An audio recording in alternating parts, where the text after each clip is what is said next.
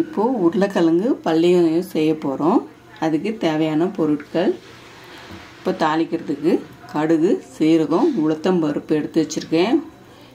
கருவேப்பிலை கொத்தமல்லி பச்சை மிளகாய் பூண்டு வெங்காயம் உருளைக்கிழங்கு மசிச்சு வச்சுருக்கேன்.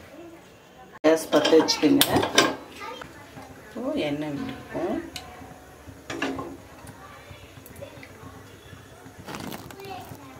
இதுக்கு தேவையான எண்ணெய் விட்டுக்கோங்க கடுகு உளுத்தம்பருப்பு சீரகெல்லாம் எடுத்து வச்சுருக்கோம் அதில் போட்டுப்போம் இப்போது கருவேப்பிலை பச்சை மிளகாய் பூண்டு பொடியாக நறுக்கி வச்சுருக்கேன்.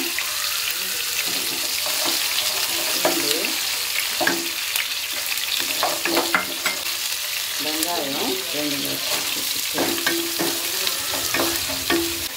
கொஞ்சம் உப்பு வெங்காயம் வதக்கிறதுக்கு போட்டுக்கோங்க. சால்ட் உப்பு.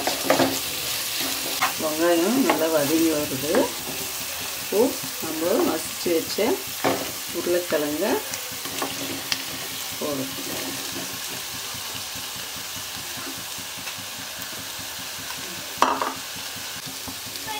மஞ்சள் பொடி சேர்த்துக்கோங்க.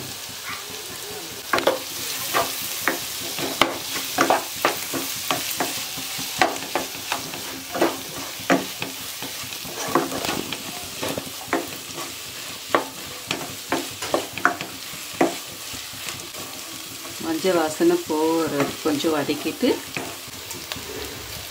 கொஞ்சம் திக்கு எவ்வளோ தேவையோ கொஞ்சம் தண்ணி கொஞ்சம் சேர்த்துக்குங்க. சப்பாத்திக்கு தொட்டு சாப்பிட்றதுல தேவையான உப்பு சேர்த்துக்கோங்க.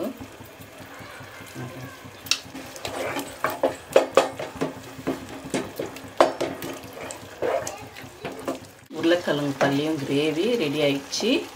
இது வந்து சப்பாத்தி.